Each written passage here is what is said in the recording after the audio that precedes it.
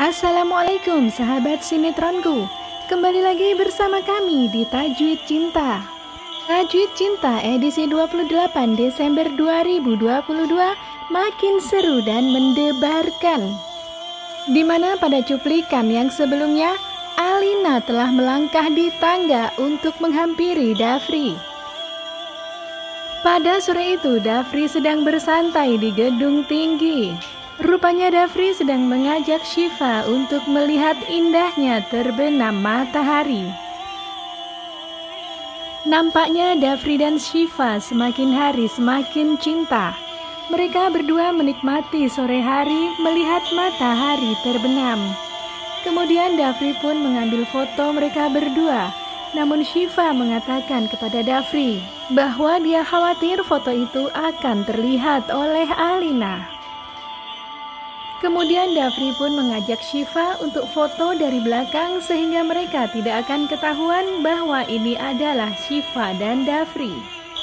Namun tentunya untuk Shiva dan Dafri tentu saja tahu ya bahwa itu adalah foto mereka berdua. Adegan yang romantis di sore hari itu semakin menambah cinta mereka terus bersemi. Namun tak berselang lama, Mama Indri rupanya kehilangan tongkatnya untuk berjalan. Kemudian Mama Indri pun menelpon Shiva untuk segera datang karena Mama Indri membutuhkan bantuan. Bersyukurnya Shiva segera turun ya, jadi kebersamaan antara Dafri dan Shiva tidak diketahui oleh Alina. Shiva pun langsung turun dari gedung tinggi itu dan menghampiri Mama Indri. Sementara itu, Dafri yang turun melewati tangga. Dafri sangat syok, sangat terkejut karena Dafri bertemu dengan Alina yang juga sedang menaiki tangga. Alina menjadi heran kenapa Dafri sangat terkejut ketika melihatnya. Alina pun merasa janggal, seperti ada yang disembunyikan oleh Dafri darinya.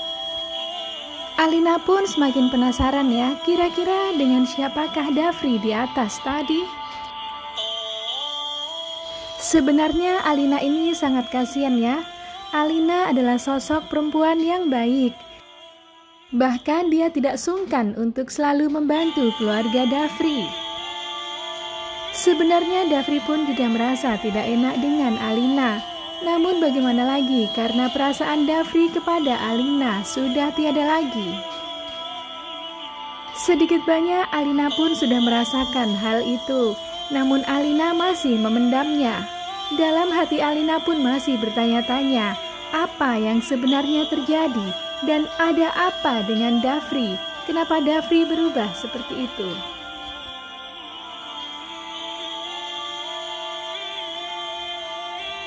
Kemudian di esok harinya, Dafri mengantarkan Shiva untuk bekerja di sebuah butik. Dalam adegan di dalam mobil itu, mereka terlihat sangat romantis, di mana Dafri memakaikan kalung untuk Shiva dan Dafri pun berkata-kata manis untuk Shiva, sehingga membuat Shiva pun melayang dan tersipu-sipu malu. Betapa bahagianya Shiva bisa berduaan dengan Dafri suaminya.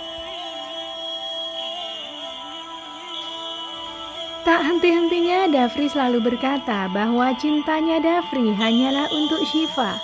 Mendengar kata-kata dari Dafri itu pun Shiva terlihat sangat sumringah. Hatinya begitu berbunga-bunga. Hal itu pun membuat kedua pasangan ini enggan untuk berpisah. Shiva pun serasa tidak ingin keluar dari mobil untuk bekerja. Inginnya hanya selalu berdua dengan Dafri terus, yaitu suaminya. Sembari memandang dengan senyum manis, Dafri pun melambaikan tangan kepada Shiva. Kemudian Shiva pun berangkat bekerja dengan begitu bahagianya. Saking bahagianya, Shiva tidak menyadari bahwa dia tersenyum-senyum dan tersipu-sipu malu di depan umum. Wah, bagaimana ya kalau Alina ngeliat Shiva tersenyum seperti ini? Bisa-bisa nanti Alina curiga ya, ada apa dengan Shiva? Dan kenapa ya Shiva tersenyum? Apakah Shiva jatuh cinta? Jatuh cinta dengan siapa? Tentunya hal itu akan menjadi pertanyaan jika Alina melihat kondisi Shiva saat ini yang sedang dirundung bahagia. Untuk kelanjutannya, jangan lupa terus simak ya sinetronku. Terima kasih.